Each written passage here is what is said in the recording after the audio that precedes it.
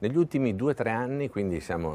veramente davanti a una nuova rivoluzione nel campo della compressione biochimica della malattia di Gaucher, abbiamo constatato, grazie agli studi di alcuni gruppi, particolarmente in Olanda, che eh, nella malattia di Gaucher vi è l'accumulo di eh, sostanze nuove che prima non erano state diagnosticate, che sono dei derivati, nome difficile, sfingosinici,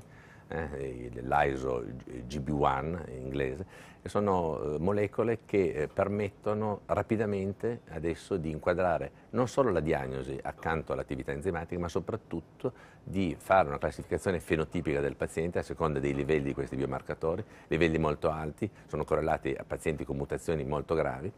e soprattutto, terza cosa, servono a seguire nel tempo gli effetti delle nuove terapie o delle antiche terapie della malattia di Gaucher, terapie enzimatiche,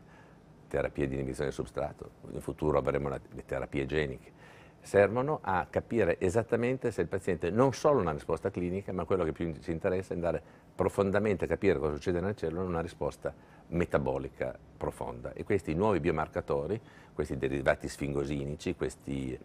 molecole che si accumulano in seguito al difetto enzimatico, ci permettono oggi di seguire molto molto meglio l'andamento clinico dei nostri pazienti.